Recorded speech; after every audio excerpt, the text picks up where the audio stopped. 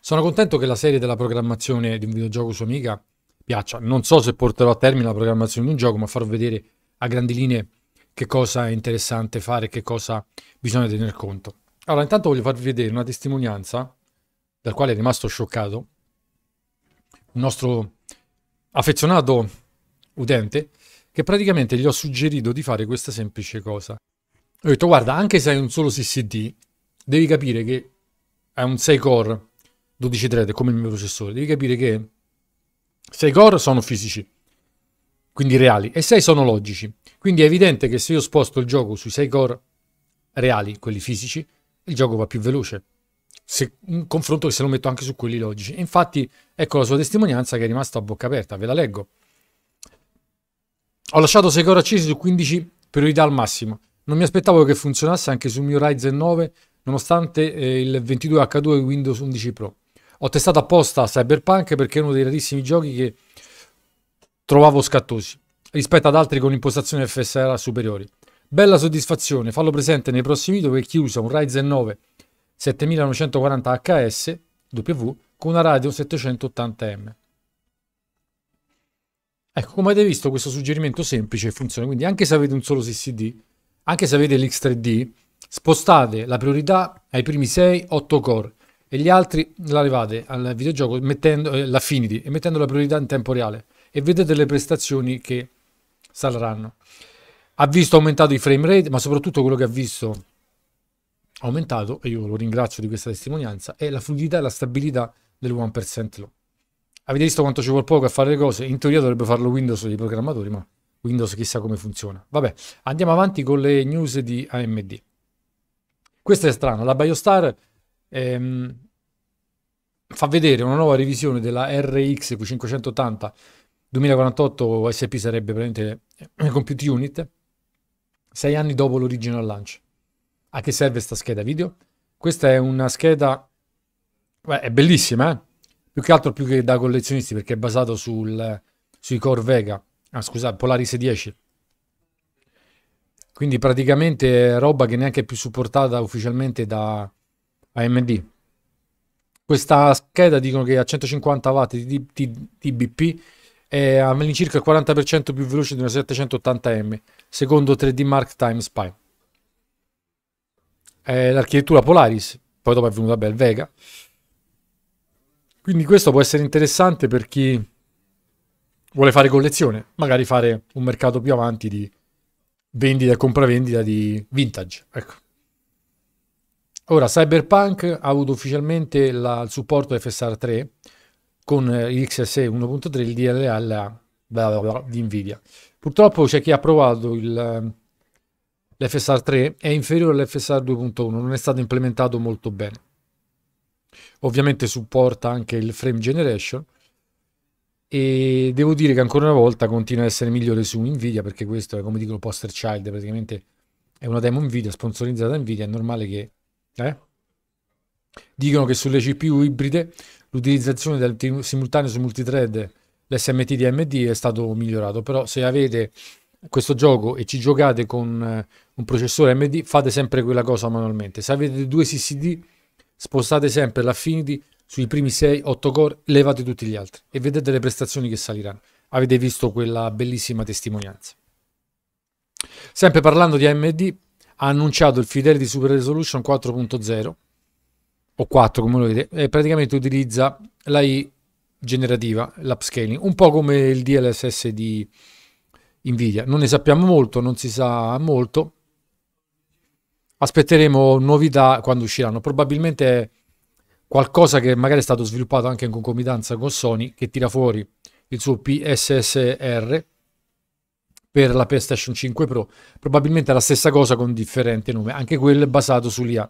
Vi ricordo che il chip della PS5 Pro è un misto tra, tra Radeon 3.5 4.0 e si parla che la CPU non gira a 3.8 GHz ma forse raggiunga i 4.1 anche di più.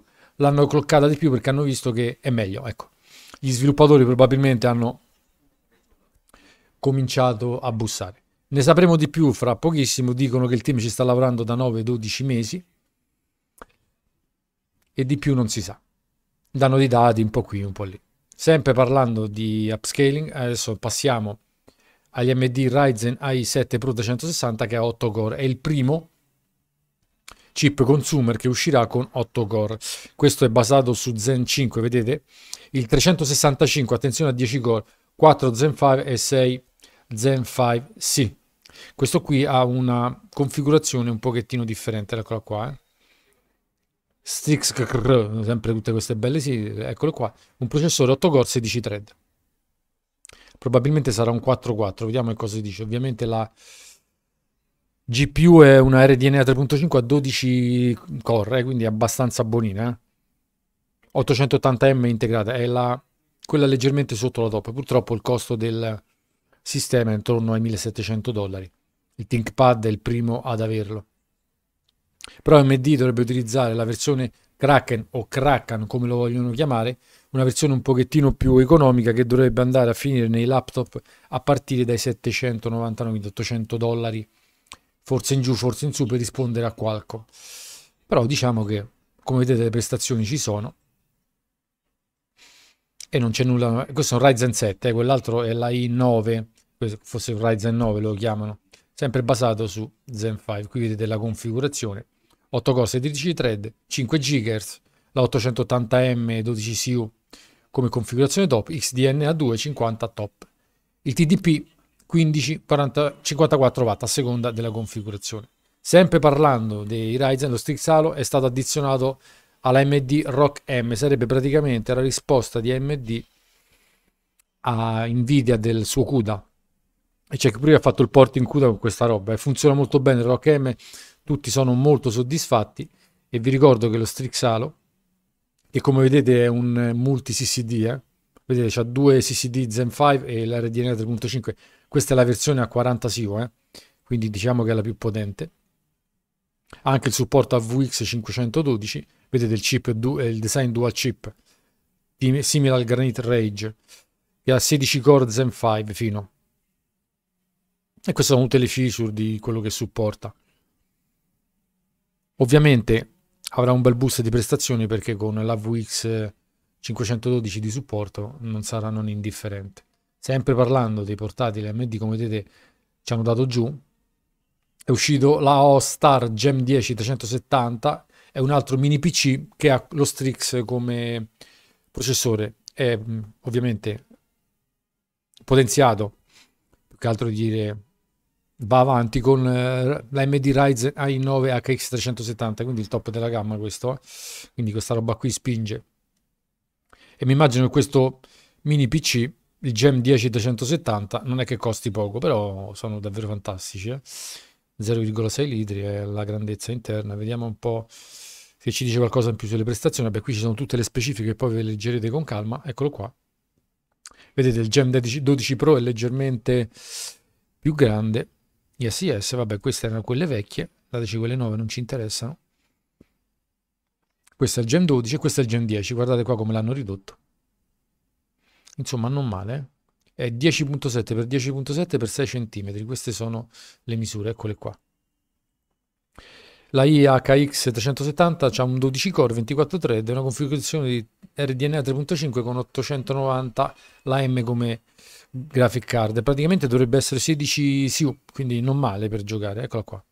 7500 MHz dell'PDDR5X, anche lì si comporta molto bene. E chi piace 50 tops di questa cagata della AI.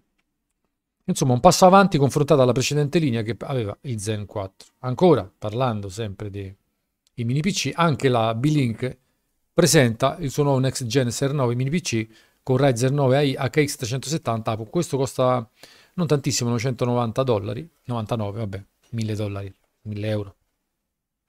E praticamente la configurazione penso a parte la dotazione che gli fanno esternamente è la stessa perché il processore è lo stesso l'APU anche questo davvero interessante come mini PC 80 tops 12 core 24 thread Zen 5 e 5.1 GHz di velocità come vedete non male, RDNA 3.5, l'890M come il precedente, che raggiunge fino a 2900 MHz.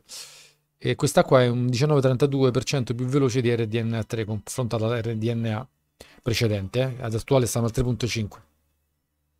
Qui ci danno alcuni benchmark che poi ve li vedrete tranquillamente. Insomma, una bellissima macchina senza spendere tanto, adatta anche a giocare. Poi con le nuove tecnologie che escono, il nuovo FSR 4.0, direi che uno si può divertire senza spendere soldi a IOSA. E qui vedete tutte le configurazioni, anche l'LP DDR5 7005, include 32 GB, siamo messi bene anche là sulla memoria. Vediamo le sì, 65 mm, watt di TDP massimo, eh, ovviamente, quando uno abbassa le pretese può andare anche giù. In pratica, praticamente tutto questo PC consuma come il 9007X, Ryzen 5 eh, Zen 5. C'è un bel guadagno, insomma, qui, eh, ecco, diciamo questa qui. Due colori ci dicono. Vediamo le specifiche, volevo vedere le dimensioni. 13.5 per 13.5 per 44.7 quindi è 135 mm quindi sono 13 cm un po' come quell'altro questo è un pochettino più sottile 4.4 invece di 6 cm però un gran bel pezzo d'hardware eh? ancora Strixalo l'APU ovviamente ancora una volta ottiene il supporto MROC lo rivediamo anche un'altra parte e offre la totale compatibilità con la VX 512 per grandi performance qui dicono 512 widget che cosa significa? Che la VX 512 in teoria sono le multimedia extension che hanno registri a 512 bit, quindi non sono emulati 512 come in altri processori, ma esistono realmente i registri a 512 bit. Costano farli, però le prestazioni... Dicono, vabbè, ovviamente questa APU aumenta molto molto la... le prestazioni dovute a un aumento di banda passante delle CCX. Vediamo se, vabbè, ovviamente questa è con 40 compute unit, eh? non male, eccola qua, AVX, 5 VGPR, vediamo un po' se ci c'è qualcos'altro in più, supporto per MROC, qui vedete è criptato perché è scritto in cinese, però si legge AVX 512 CCX, MROC, eccolo qua, vedete. E qui vedete tutte le specifiche di questo mostro Stixalo, che non scherza, 40 CPU diventa... Qua se ci fanno i mini PC o le console con questo, la gente si compra sta roba qui invece di una console. TDP 120 watt, non tantissimo, è leggermente minore del 9007 e 9006 sbloccato con l'Ages, quello nuovo. Bella bestia. Eh? Ancora, l'Asus, eccolo qua, lascia l'Ages 1.2.0.2 il BIOS per la X670E, la B650E e la B650 e addiziona il modo TDP 105 watt per 9007 e 9006, ok? Non significa che raggiungono i, 60, i 105 watt, dicono che è sbloccato. Avete visto nei giochi raggiungono i 50 watt eh, quando stanno sotto carico, perché non riescono a sfruttarli tutti i 105 TDP, però li hanno sbloccati. A mio avviso, se magari uno overclock con un dissipatore migliore o con, come dire, eh, l'azoto liquido, questo è più per overclocker, forse 105 watt uno li vede, perché ovviamente la corrente non viene dissipata in calore, ma in energia. Ok, una cosa voglio chiarire, questo dovrebbe essere abbastanza chiaro. Guardate quante schede madri vengono supportate, poi lo leggete, perché è una cagata, l'ho detto in altri video, che non si può sentire. Il, processore al massimo raggiunge 80 watt di consumo con il precedente BIOS. Con questo attuale può raggiungere i 105. L'energia quando viene trasformata in calore non diventa più energia, ok? Viene dissipata in calore.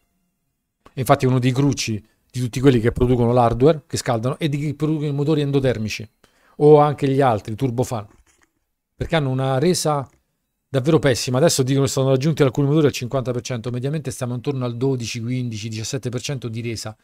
Ok, tutto il restante dell'energia emessa viene dissipato in calore e perso. Calore non è uguale energia, era energia e non ritornerà energia si può utilizzare per far bollire l'acqua e far muovere le turbine, ok? Ma non di più. Per inciso, le centrali nucleari sono dei bollitori nucleari, per chi non lo sapesse, eh? non fanno cose incredibili. Barre dentro l'acqua, l'acqua bolle, produzione di energia, che poi non è produzione ma captazione di energia. Perché se è vero, nulla si crea, nulla si distrugge, tutto si trasforma, l'energia non si crea.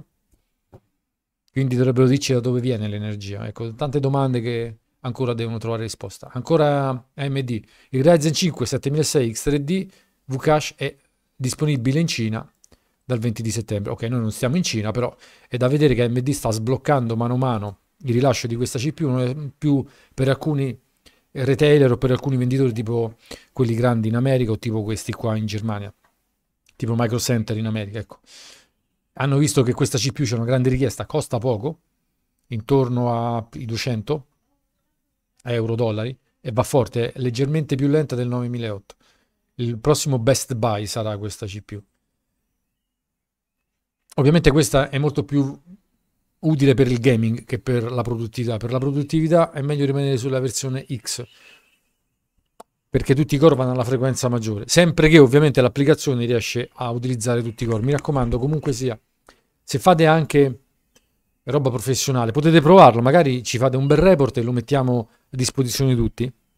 Se avete questi processori, quelli a multi CCD versione X, non versione X3D, mettete sempre l'affinity all'applicazione per i primi core, perché i primi core sono quelli fisici e non quelli logici.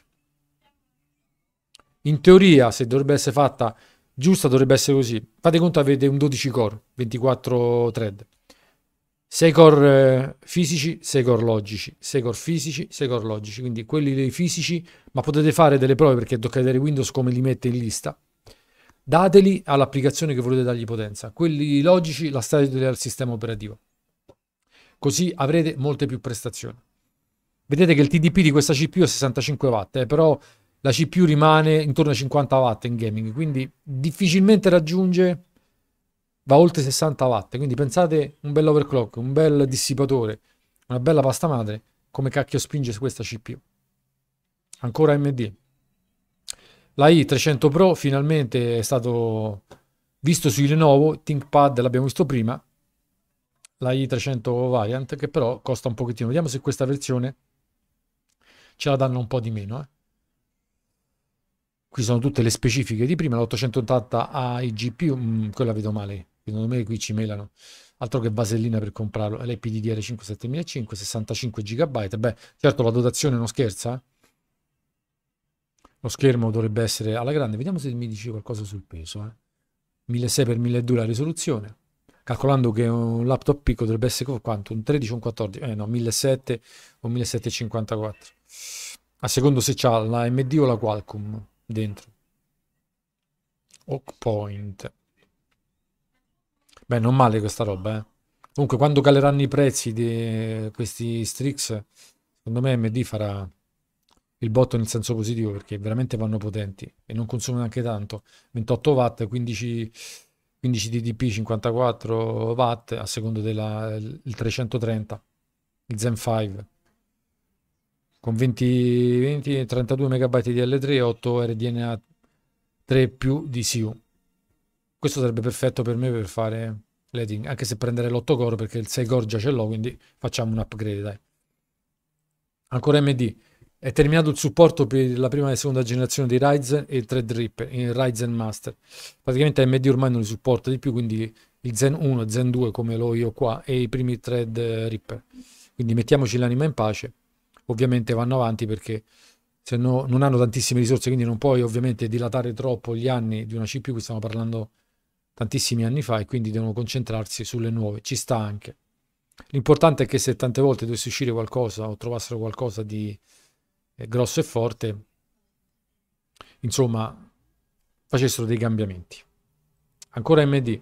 La eh, AMD Fluid Motion Frame 2 e il Variable Graphic Memory è stato adesso disponibile per Ryzen i300 APU. Che cos'è questo Memory eh, Variable Graphic Memory? Praticamente la possibilità di allargare la finestra della memoria video con la memoria di sistema e sembra che tutte queste due cose messe insieme aumentino le prestazioni del, come dicono qua, del 78%. Certo perché ci sono i frame fake, eh? Eh, vorrei dire quello, non, non, facciamoci prendere per i fondelli, non è che oh, magicamente succede l'ira di Dio, che il fluid motion frame è quello, eh? frame interpolation. Ovviamente si avvantaggia dell'architettura 3.5, dell'anti-lag 2 e questo dovrebbe essere attivabile letteralmente da driver, quindi neanche c'è bisogno per forza del supporto diretto. Qui vedete in Cyberpunk il 78% più di frame, uno Strix i9 370, quindi il top di gamma, è l'890M. Fanno sempre bene. Poi noi con il nostro trucchetto ci aggiungiamo più prestazioni, perché ricordatevi, anche se avete questo, spostate sempre l'affinity sui primi core, che sono quelli fisici, sono quelli che hanno più prestazioni. In pratica si potrebbe vedere un boost non indifferente. Vedete che praticamente la variable uh, graphic memory aiuta e lascia all'utente la possibilità di allocare più memoria per la grafica integrata. Ok? Quindi se prima aveva... è un po' una sorta di resizable bar, soltanto attivabile anche per la APU. In pratica la memoria può essere addizionata fino a 512 MB, cioè puoi andare oltre 512 di default. Qui vedete dal pannello di controllo, addirittura 8 oppure GB si può mettere, questa se ne sono succhiata 8 di 32.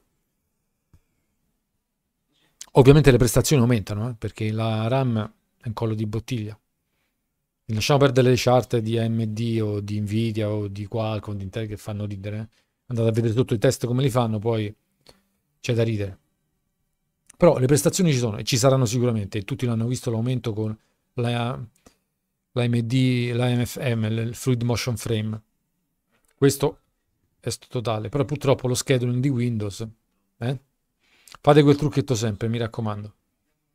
Qui trovate il link anche dei driver da scaricare. L'ultima notizia di AMD per oggi. Ha lanciato ovviamente la 12 GB la RX 800M che ha gli stessi compute unit della PS5 Pro e della 7008 XT, quella desktop.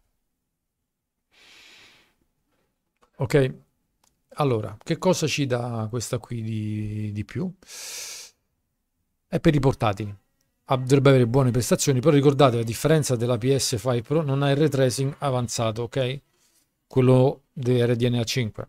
Però le prestazioni non sono male. Tocca vedere il prezzo e i consumi.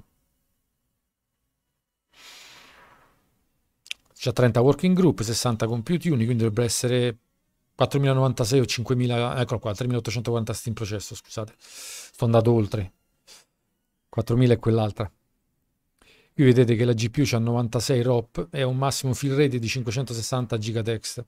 È un picco di FP3216 da 335 e 71 teraflop. 35 FP32, 71 FP16. Questa fu una cosa che fece praticamente AMD tempo fa, che praticamente la stessa unità che fa la FP32 può fare contemporaneamente due calcoli FP16. Vi posso garantire che in alcune applicazioni la differenza occhio non la vedete, soprattutto se uno mantiene i numeri, la scala compresa numeri molto bassi. Allora, differenze, è difficile che si vedano queste differenze, soprattutto fate conto per le, le texture lontane, le geometrie lontane, FP16 è più che sufficiente. Ovviamente la frequenza è di 2145 MHz, che è molto più bassa del 2400 della 7008, dovuto al suo TDP più basso, che è esattamente 180 watt invece di 263. Ovviamente la prestazione scendono un pochettino. Queste sono le ricapitolazioni delle notizie, vediamo un po', ovviamente. Ok, questo è prettamente per i portatili e chi vuole, qui ci sono alcuni benchmark che poi vedrete la 7008M si piazza leggermente sotto la 7009M e batte la 4070 laptop di Nvidia. E questa è tutta la lineup. Ok, per oggi siamo arrivati alla fine di queste news di AMD. Godetevele oggi che è domenica, io la sto registrando di sabato, così quando volete vi fate una scorpacciata di queste ultime novità. Vorrei poi, ovviamente rimettiamo la clip del nostro amico Ricordarvi una cosa. Un conto sono i numeri e un conto l'applicazione reale. Avete visto quanto ci è voluto poco ad aumentare le prestazioni con i Ryzen? Solo settando l'affinity. Mi raccomando, diminuite la priorità mm, cioè, degli altri task, ma aumentate la vostra a real time. Poi se non avete bisogno della rete, staccate l'antivirus, levate la rete, mettete in modalità aereo e levate il firewall e vedete che le prestazioni saliranno ancora. Nel prossimo video per Amiga, vi anticipo questo, parleremo della gestione della memoria. Qualcuno è rimasto scioccato da dove sono partito per fare un videogioco. Ovviamente ho tralasciato tutta la parte di game design, di brainstorming, perché non voglio fare un pippone. Ma vedrete che è una cosa importantissima, ancora prima di arrivare a far vedere i vari flussi del menu e del gioco, la gestione della memoria e vi dirò anche tante analogie di quello che ci è successo e anche uno dei problemi che potrebbero avere dei videogiochi moderni. Eh. E, ed è una cosa poi che consiglierò anche ai programmatori di qualsiasi piattaforma di fare quello che vedrete in quel video perché è davvero importante per la stabilità, per la sicurezza e per le prestazioni. Mi fermo qui. Vi ringrazio ancora, lasciate un like, commentate, iscrivetevi e ci vedremo al prossimo video. Buona domenica a tutti.